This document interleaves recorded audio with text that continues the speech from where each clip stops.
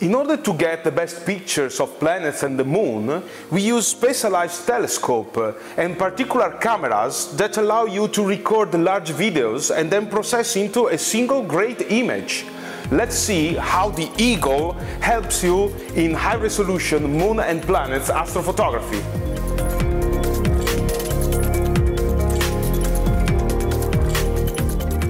These cameras are usually not cooled because moon and planet imaging doesn't require for long exposition time.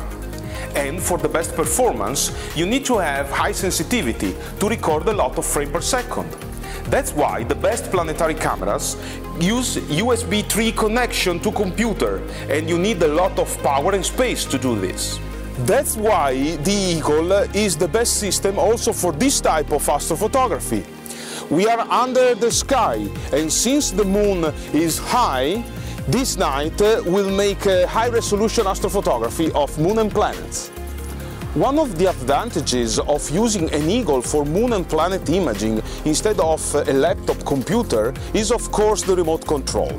You can't use a planetary camera with a long USB cable, but with the Eagle, the cable is very short and the video file is directly saved with internal and fast SSD drive, but you can see the image in real time, remotely, whenever you are.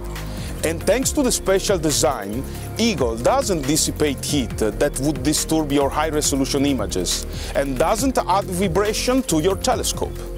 Another advantage of using the Eagle in high-resolution astrophotography of moon and planets is that it gives you a, an easy way, an easier way to collimate your telescope. In fact, you can see in real time the picture of the star that you want to use for collimating your telescope and collimate it very easily.